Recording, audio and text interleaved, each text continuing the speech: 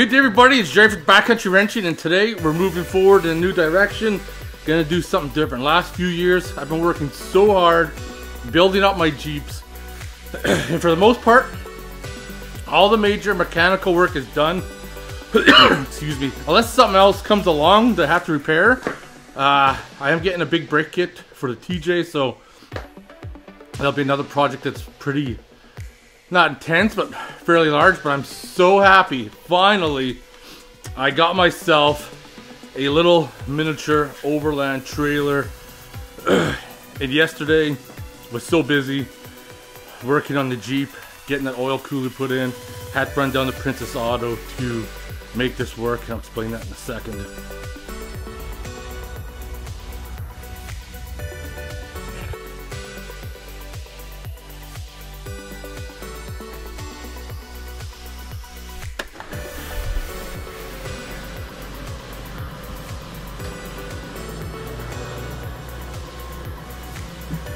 That's the trailer dolly right there that I picked up. Might be a little on the small side, but this is the unit right here. I was just kind of going over it. So basically what it is, it is a wood shell with fiberglass over top of it. I am the third owner. Uh, the person I purchased it off was the second owner and he did some things to it too. Like all the electrical stuff. This thing is set up. It is set up for solar everything. Fire extinguishers in there first aid kit dual battery tender solar setup disconnects. We have uh, dual yellow top batteries in there we got a diesel heater in there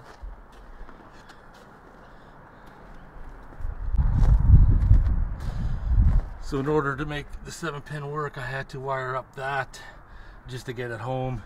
Kind of janky how I zip tied it. But I also had to have a little extension. So one of the things I am going to be doing is putting a max coupler on. So this will be cut out. We're going to extend the tongue out a little bit. This storage, get it open, was added in. Has a whole bunch of things. Has a spare diesel heater as part. But one of the things he said the previous owner is that he added this box. So of course this is where your trailer jack is. And now because you put the box on it doesn't fit. But that's not a big deal. This thing's pretty light. And I'm never going to use it anyways unless it's going to be parked we got stabilizers for the floor ramps pads carpet. I am to have to get both Jeeps wired up for 7 pin and then have a switch through my panel inside for auxiliary power to go to the back that I can charge the batteries when I'm driving. I think the max coupler will do pretty good. Got to extend a little bit because it is pretty tight. Well, actually, no. That's not too bad at all. I think it'll work out. Some of the major things I'm going to be doing is getting rid of the school bus yellow. I'm going to Raptor line it so it matches my TJ. So obviously the fenders will be black. Frame will stay black. That toolbox in the front will Raptor line black. And then I'm going to Raptor line the thing the same color as my Jeep, which is Patriot Blue. I believe I still have some of that paint left. And it looks like I do have Patriot Blue left, so I'll be able to get some Raptor liner on there. I've been telling you guys before, I really wanted to get into an overland trailer or camper van or something. Saved up a bunch of money, and this came up. I got it for a pretty good deal. Does need a little bit of work. Nothing major. Just kind of change it around to suit the needs that I want. I think for uh, backcountry camping, it's going to be awesome. It tows really well, really well. Some people might question the distance between the fenders and the tires, but this trailer is so light that it just bounces, doesn't even compress at all. So now, we looked at the back, totally set up for solar. Diesel heater tank on the side, I'm gonna change that out. Gonna change that to stainless. And this is inside right here. This is inside, super nice inside. Uh, diesel heater controls is behind little bags there. You can see the exhaust coming through the side. Um, you might get up to the front there. You got a fan on the roof. And that's the cover for it. We got some shoe bags on the side. Little ledge there. Queen size mattress. More storage on the side. LED lighting. Super nice inside. It's gonna be way better camping out in this. It's gonna be sweet. That window on the far side there does actually have an emergency exit, so if a bear's trying to get me through one side, maybe I can still escape to the other. There we go. Clean her up a little bit. Paint her. Change out the hitch, lengthen it. Build some mud flaps. Fenders are a little on the narrow side, but I don't want to extend them. I'm just going to rubber the sides so that the rubber can stick out. That way, if I rub something, it's not going to get damaged probably maybe uh, that's pretty sealed up still think uh, once I raptor line it because all the corners and stuff are all fiberglass cornered you can see some runs in the paint for whoever painted it but raptor liner can cover up a lot of blemishes Alright, so buying this brings me to another little problem. So, as you can see, my gate's frozen in. There's no ice melt to be found in the city, so grab some charcoal from the fire pit. Actually, charcoal works really good. But my gate's gonna be frozen in for a bit. But I am getting the storage yard, and this uh, utility trailer will be going to the storage yard once I can get it out, hopefully in a few weeks. So I'm to be using the trailer for how it is for now until I can get it painted. But we're going to work on the other mods to start cleaning her up and getting her ready. So the bolt pattern is same as the TJ, five by four and a half gonna have to look at shifting some of the stuff around because my ammo crates with all my stuff won't fit in the storage. Yeah, but it's already wired for solar, so that is a lot of money saved there.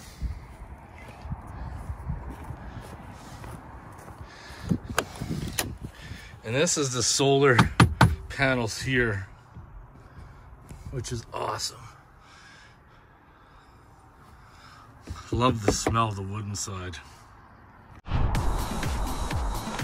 Right, let's see we can get this off, put it down.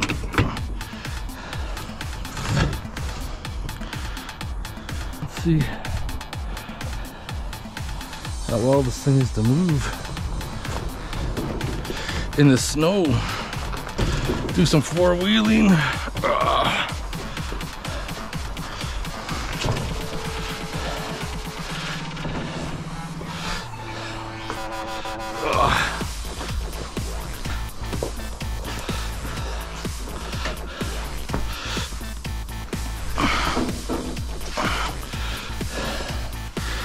Little bit of an incline I had to overcome.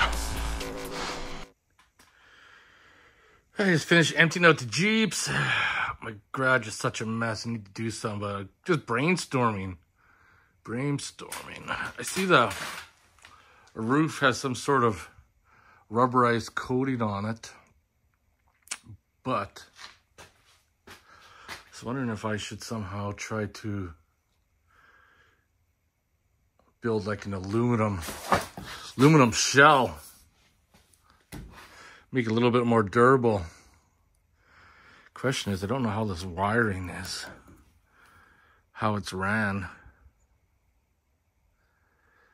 That's something else I might have to check into. Got a little bit of fiberglass delaminating there. I'll have to cut away, repatch. Yeah, I'm thinking I might do the aluminum. Wonder how much aluminum would cost. I don't know if you're gonna see up in there, but the electrical wires for the one marker light go across there, so I don't think that's gonna work too well. I need to clean those wires up too. Well, the old diesel heater, I don't need to carting that around.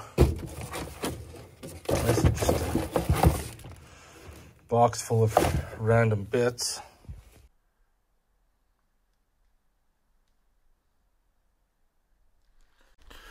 All right, so I just been pondering for a while, and I got myself a plan and what I'm gonna do to this trailer to clean it up and make it look pretty sharp.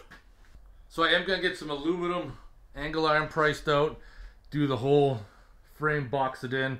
I won't be able to weld it on the trailer, so I'm gonna use wood inserts, drill, screw them in, and then these with sealant adhesive will be screwed into the body itself.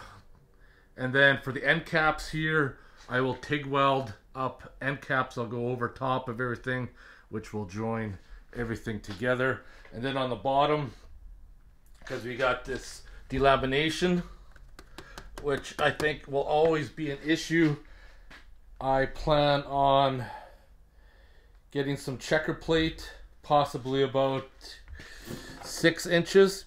We're gonna run it right from the frame all the way up to here, all the way across, just so that we get rid of that problem and go right behind the fenders. I think do that, box it in, paint it in Raptor liner to match my TJ, do some sort of another coat of roof sealant on the top, and I think I think she'll be looking pretty sharp. I still realistically got another good months before I could really start heading out.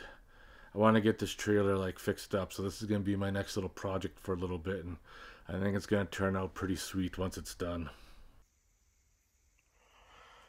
Oh yeah. This is going to be so good.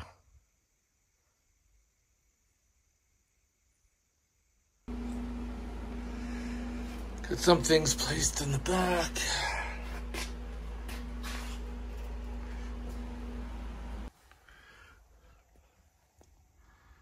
Should download the Bluetooth app for that. This setup is pretty sweet. So this here is for the batteries. So I can operate one battery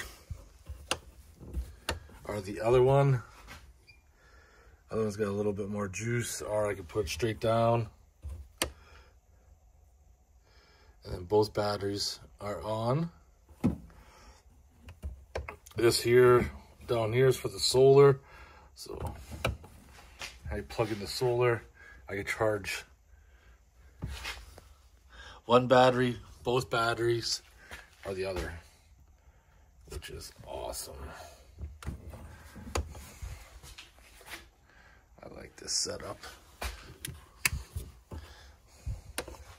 This solar setup is saved a lot of money. All right, it's motherfucking beer time. We're gonna try this one out. Show Pony Aussie Pale, five percent.